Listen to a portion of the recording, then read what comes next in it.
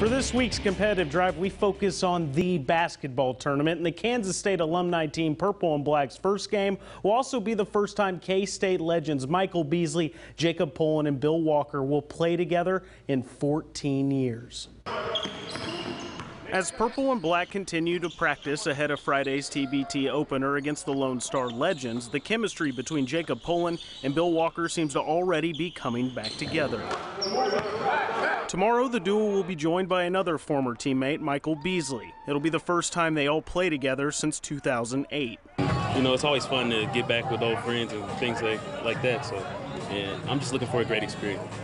It's a reunion that head coach Jordan Enriquez says he cannot wait to see. It's special, you know, guys taking their time to come together and play.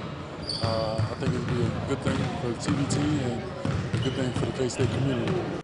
In 2008, the Kansas State Wildcats were a force to be reckoned with. Their season highlighted by being the first Wildcat team to beat Kansas in Bramlage Coliseum, a moment forever etched in K-State lore. Now they hope to bring back that same chemistry to this year's TBT. You know, just deciding to play with my, my boys again, man. Bill and Mike wanted to play, and I was, I'm home, I'm doing nothing, so you know, Jo put it together and we made it happen, man. Mike should be here in the morning, and we should be able to, to win a couple games, hopefully. Their reunion isn't only special for themselves, but also their TBT teammates. I was telling uh, somebody this yesterday. It's pretty surreal, and um, like yesterday, we were just at the high school, and uh, Jacob Pullen was doing his thing out the gate, and I'm just like, wow, I'm on the same team as him. And I grew up watching Bill Walker, Mike Beasley, so this is just an amazing experience, and I'm having fun.